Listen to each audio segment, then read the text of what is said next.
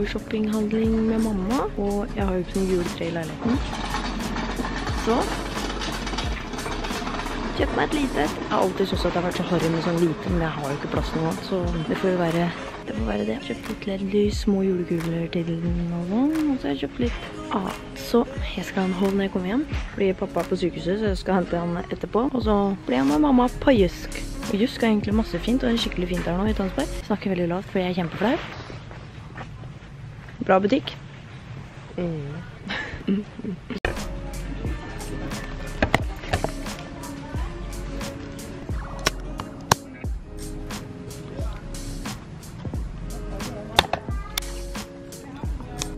Da har jeg kommet meg hjem, og jeg hentet en pakke fra Junkyard, så den skal vi åpne etterpå. Så står jeg sånn. Og just, så jeg skal ha innkjøpt på det etterpå, men nå, først tenkte jeg å lage frokost. Jeg har ikke spist frokost i dag. Jeg kjøpte dritdeilig nybakt brød fra Meny. Det er det beste jeg vet om, og så er den, tror jeg, tre av fire grov, så det er jo greit. Her ser det ut som et helvete. Nice. Vi må åpne kalenderen i dag. 16. Oppi her. En British Rose Body Butter. Det liker vi. Nice. Mm. Sånn, da tenkte jeg å vise dere hva jeg kjøpte i dag. Lyset er ikke det beste, men det får bare være. Mamma, eller pappa, er på sykehuset nå, så jeg skal hente han senere i dag. Men mamma skulle innom Jusk, så jeg ble med på det da. Og da var det jo altså, så sykt billig det var. Alt jeg kjøpte oppi her ble på 290 kroner. Det er ikke så gærent, skal jeg si det. Og så, mye av det som kommer til å bli vist i denne videoen her, både fra Junkyard og fra Jusk, er julegaver. Så hvis du er et familiemedlem, ikke se på videoen. Så hvis du er mamma, pappa, Hans Ivar, bestemor, bestefar, farmor, farfar, ikke se på. Fordi her er det ting som dere kommer til å få til jul. Så skru av videoen nå hvis du er i familien min. Så vi kan begynne med det lille juletreet her jeg har kjøpt. Ja, jeg har jo ikke plass til noe stort juletre her hjemme, så da tenkte jeg hvorfor ikke bare kjøpe et lite. Ja, det går jo an å pynte det også, sette på lys og sånn. Så det tenkte jeg vi skulle pynte etterpå. Det er i hvert fall et lite juletre, trengte jeg, for jeg har ikke noe juletre her. Og jeg kunne jo hatt et lite et sånn som har liksom rakk meg hit, men nei, jeg gidder ikke. Og så med det så kjøpte jeg string lights til å pynte med juletre på, så det blir lys. Og så måtte jeg også ha litt julekuler, og da kjøpte jeg sånne små julekuler. Herregud, hvor fint de er lagt. De er lagt etter farge og sånn oppi her. What the fuck? I da ble jeg pyntet på det juletreet. Og så kjøpte jeg en annen lysting.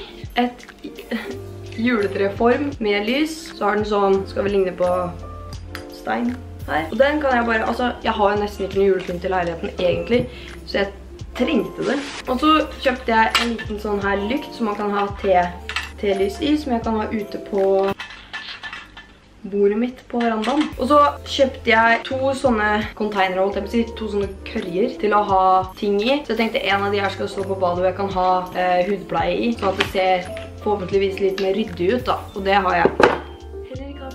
Og så det siste er en julegave til farmor, så ikke se farmor hvis du fortsatt ser på videoen. Ødelegger du for deg selv. Det er en sånn her, eh, hva skal jeg si, sånn som går på batteri, sånn de to snurrer rundt, og så er det lys og, ja, hva heter det? Christmas scene. Hun elsker jo alt på sånne små duppetitter, så det er perfekt til hun. Så tenker jeg vi bare kan få i batterier på de greiene her. Wow! Den lyste jo veldig da. Å, herregud, var ikke den søt? Den her kan jeg jo ha... Ja, vi finner ut hvor jeg skal ha den, men den var sykt søt. Åh, herregud. Så da er den på. Så tenkte jeg vi kan pynte det treet her da. Først tar vi lyset.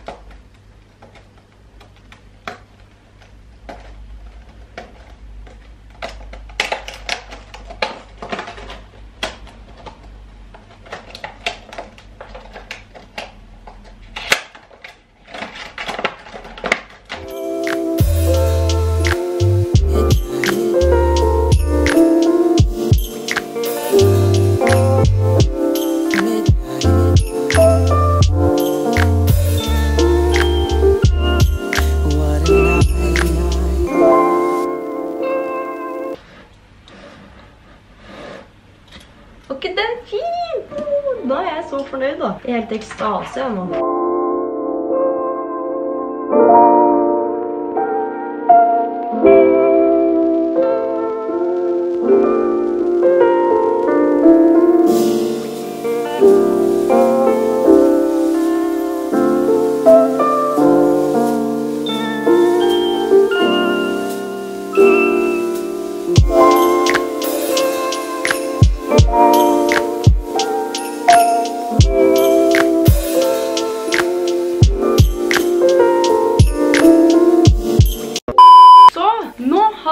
Til å ha en liten junkyard haul. Jeg, altså det som er oppi her er mye julegaver, så som sagt familie, get away. Get away from my channel. I'm gonna wrap your present. Så har jeg selvfølgelig en rabattkode til dere, og det er Amalie O5.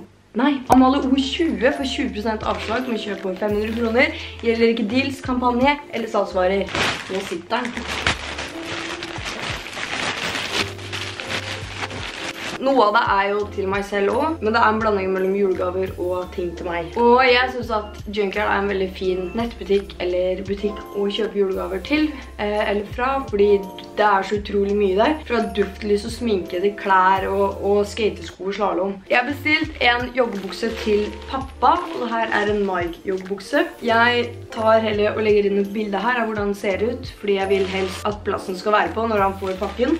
Jeg har bestilt et par med X L-buksere eh, til pappa. Jeg tror han kommer til å bli litt fornærmet, men ja, ja. Men det er i hvert fall Tommy Hilfiger sine buksere. Så den er også til pappa. Og så har jeg bestilt et belte til Hans Ivar. Og det er mitt favorittbelte som jeg har på meg nå.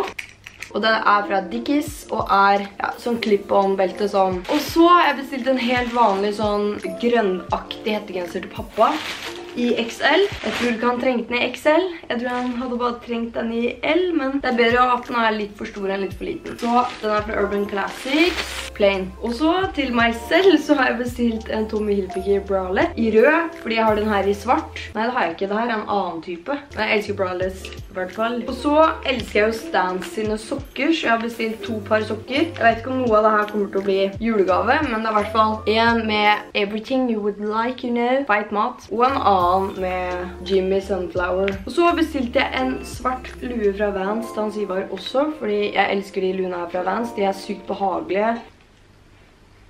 Sitter veldig bra. Nei, det er bare sykt mykt stoff, og jeg har en i grå og en i grønn fra før, så jeg vet at de er bra. Og så bestilte jeg et par med svarte boksere til Hans Ivar. Fra Calvin Klein. Tre svarte boksere. Fordi at Hans Ivar han har plutselig begynt å bry seg om sånt.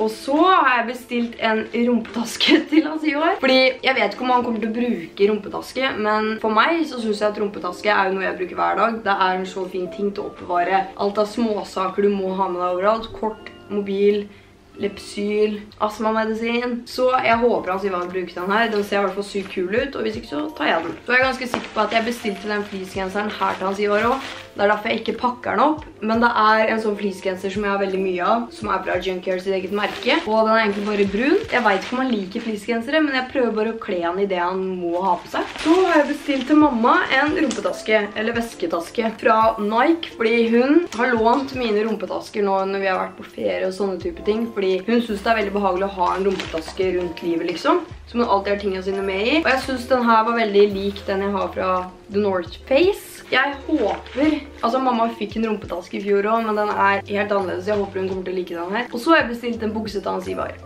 Og den her er fra Dickies, og det er en workpan. Slim fit, noe jeg ikke vet om han kommer til å like, men jeg har på meg workpants av jeg eier fra Dickies nå. Jeg elsker de, så jeg bestilte de her til Hans Ivar. Han vil egentlig ikke bruke det, men jeg kommer til å tvinge han til å bruke det. Og derfor bestilte jeg det i 31 x 32, sånn at han kan ha det når han blir eldre. Og de her er ganske små i størrelsen. Ok, og så har jeg, jeg valgte ut en hettegenser fra Buttergoods, fordi jeg elsker Buttergoods og dems hettegensere og alt sånt her. Og jeg har jo på Buttergood nå i samarbeid med Champions, tror jeg det, med Snoop Dogg, som røker en sigar eller noen ting. Og det her er bare en helt sånn kremhvit plain uh, hettegenser hvor det står butter på, og så er det to engler. Og så bestilte jeg også til meg selv den her fleecegenseren fra Junkyards eget merke. Og det her har jeg, åh, jeg har prøvd å bestille den her i så mange måneder, men den har alltid vært utsolgt. Og nå er den endelig her. Altså, hvor retro og vintage ser ikke den her ut? Altså, den skriker. Hemsedal! Den her har jeg i small. Veldig, veldig, veldig fornøyd. Og jeg gleder meg til å endelig eie den. Og ja, nå har jeg jo tre stykker av den flisgenseren der. Så er det en t-skjorte fra Jade. Jaden. Jade. Den ser i hvert fall sånn her ut. Sykt fet t-skjorte. Og den minner meg litt om Justin Bieber egentlig tour-versionen hans. Er helt ærlig. Bare at den her er kul.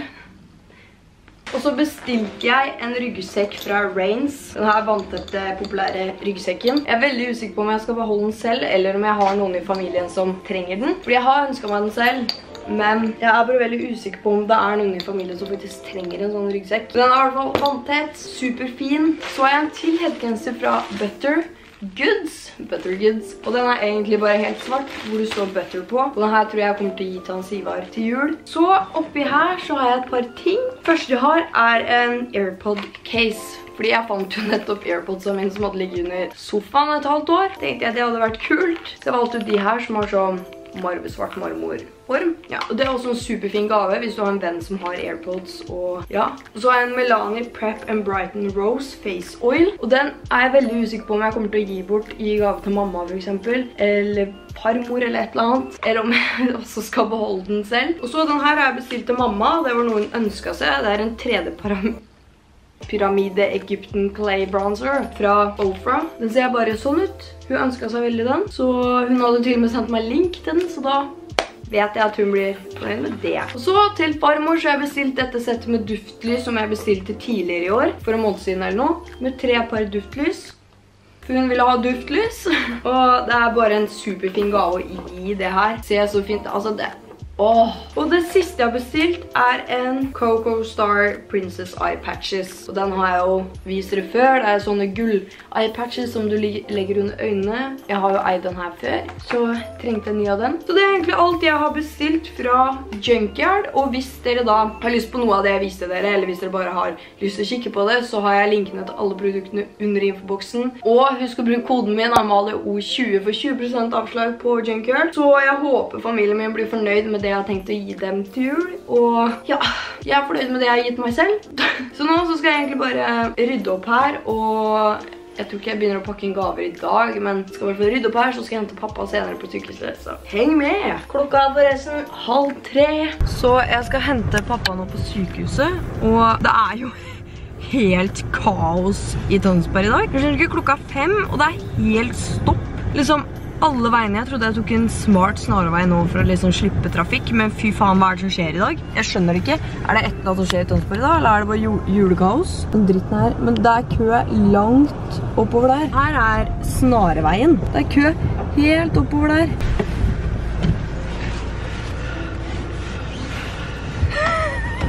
Skal se han andre. Pappa er nettopp operert nesa si. Plastisk kirurgi. Neida. Helsekirurgi. Penisreduksjon. Nei. Nå er klokka blitt eh, sju. Jeg har kjørt pappa hjem. Og nå er jeg på Hans Ivar sitt gamingrom skjært stue oppe. Sammen med snuskepus. Snuskepus. Og jeg tenkte at vi kunne se litt på Netflix. Jeg hadde egentlig tenkt å trene i dag, prøve å trene igjen nå etter to uker, men um, Kevin kunne ikke i dag, så da blir det i morgen, men jeg tror det er like greit, for jeg våkna opp og hadde vondt i halsen i dag. Men jeg gleder meg veldig mye til å trene i morgen. Jeg elsker å trene, som sagt, så det blir veldig deilig å få ræva gir igjen. Nå skal vi se på litt Riverdale. Vil du det? Vil du se på Riverdale? Så nå har jeg kommet hjem, og klokka er 22.43. Så tenkte jeg egentlig bare å legge meg, redigere denne vloggmsen, og jeg vet ikke hva planene for i morgen er, bortsett fra at jeg skal trene, men det får du bare følge med på. Ses i morgen! Missing someone